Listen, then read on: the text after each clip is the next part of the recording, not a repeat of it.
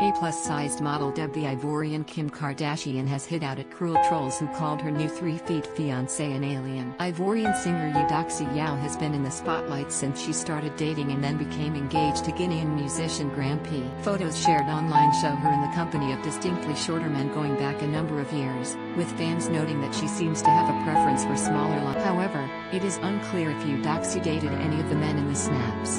The plus-size model gained of her large bottom and hips and was promptly dubbed the Ivorian Kim Kardashian. She has more than 1.4 million followers on Instagram.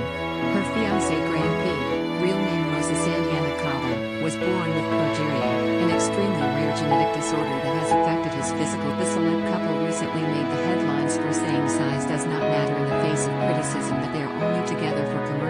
couple refuses to be affected by online trolls and say that their relationship is going strong. In response to someone calling Grand P an alien, Yao recently said, Grand P is someone who needs love, he has suffered in his life, he has experienced suffering. Grand P is a human being created by God like us all, and I cannot accept him being called an I am in pain, I was shocked. How can you call a creature of God an alien? Do we need to remind him that has different from us?